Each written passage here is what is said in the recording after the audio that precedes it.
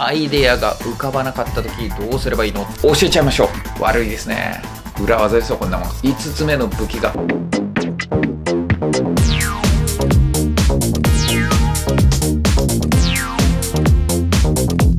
そうでは始まりました。もてチャンネル。さあ、今回はですね、英検面接試験でアイデアが浮かばなかった時どうすればいいのっていうのについて話そうかなと思います。まあこれはね、英検だけじゃなくて様々な英作文ですね、に使うことができますので、ぜひとも知っといてください。まあ、裏技。もう英検の面接直前っていうのでね、見てる人もいると思うんですけど、まあこれらにね、書いてはあるんですけど、英検のね、ワークブック出してるやつにはあるんですが、教えちゃいましょう。えー、自分がね、まあ今までどうやってやってきたのかっていうのをね、話すんですが、ちょうどね、そうそう、この教著者の武藤先生も同じようなやり方でやってたので、あ、同じですね。武藤先生がライティング担当してて、で、自分がスピーキング担当してたから、あれ書いてあること同じじゃないですかって言ってね、そう、同じになったっていうやつね、そのアイデア出しの時にどうするかってやつなんですが、なんでまあ大学受験とかのね、作文にも使えることですので、ぜひ知っておいてください。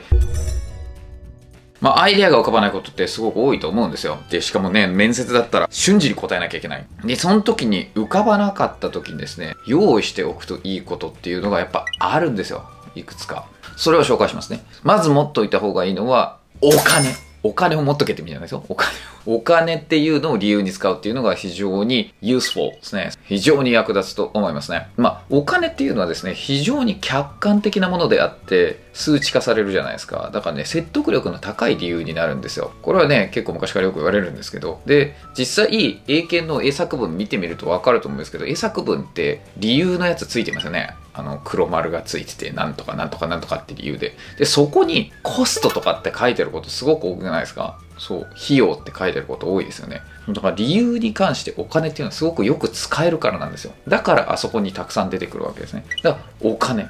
高いものは悪いんです。反対です。高いから。ほら、言えますね。なんとか is expensive とかね、なんとか are expensive って言えばもうそれで理由になるでしょ。ね、なんとか cost a lot of money とかね、お金がたくさんかかりますって言ったら、もうそれだけで理由になるじゃないですか。で、さらには何々 saves a lot of money って言ったら、ね、お金をたくさんセーブしてくれます。お金がかかりません。いいことですね。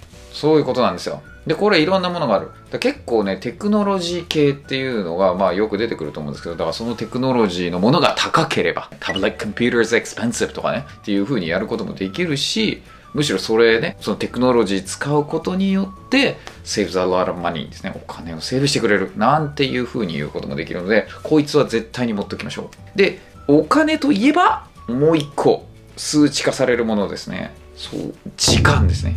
時間がかかることは悪いこと。時間がかからないことはいいことですね。だからこれも数値化できて客観的でいいんですね。これも何々 takes a lot of time ですね。時間がたくさんかかるって言ったら悪いことですね。それに対して何々 saves a lot of time たくさんの時間を節約してくれるって言ったらこれいいことじゃないですか。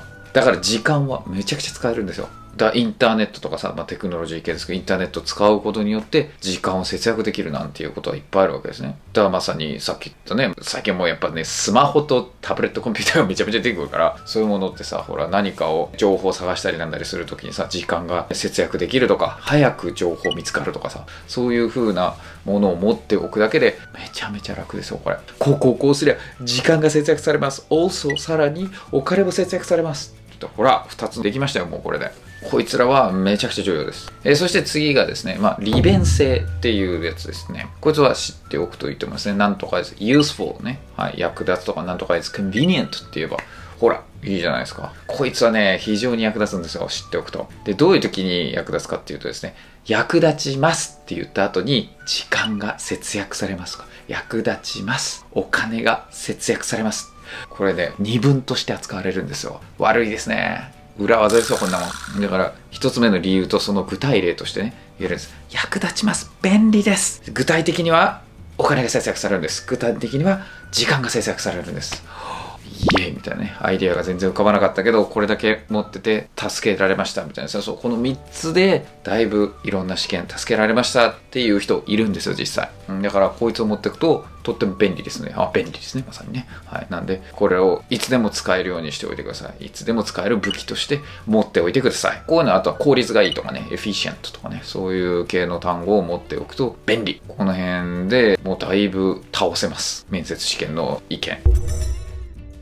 で、あとは健康。やっぱね、この機械がいっぱい出てくんですけど、最近は。機械っていうのもあれだけど、テクノロジー系がいっぱい出てくるんですけど、だスマホとかがタブレットとか、まあ普通のコンピューターでもいいですけど、やっぱり健康に良くないって使いやすいですね。bath for health っていうのがすごく使いやすいので、何々が来た時に bath for health とか bath for our health とかね、っていうのを持っとくだけでも倒せます。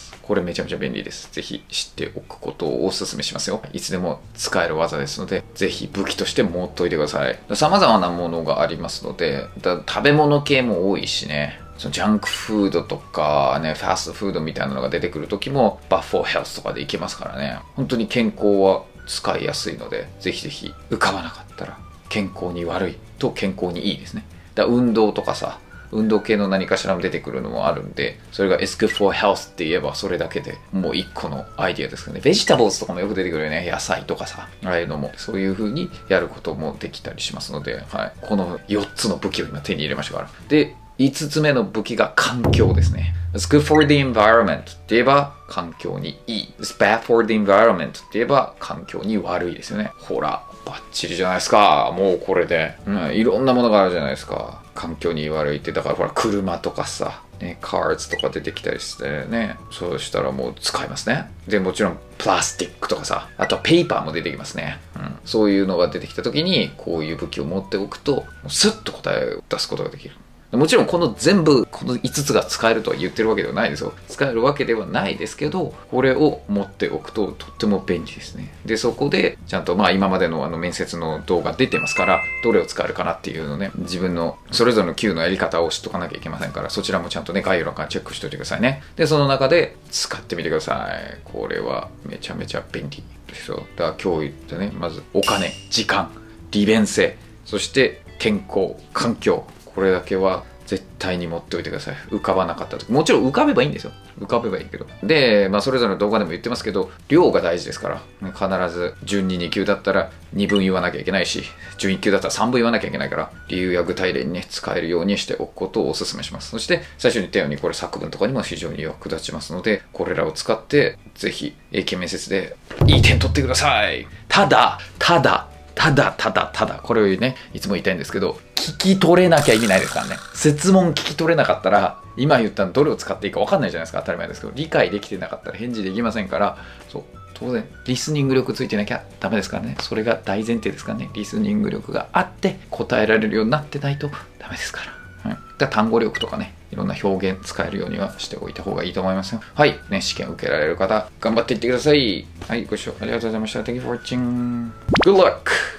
今僕が首席講師を務めますベーシス公式 LINE に登録してくださった方全員に偏差値30から60まで上がる勉強法ノウハウ誌をプレゼントします TOEIC で言うと800点まで英検で言うと準1級までをカバーする内容になっていますのでぜひこの機会にゲットしてくださいまた個別メッセージをいただけますと僕や他のベーシス講師からアドバイスももらえますぜひこの機会に概要欄のリンクから QR コードを出していただいて登録よろしくお願いします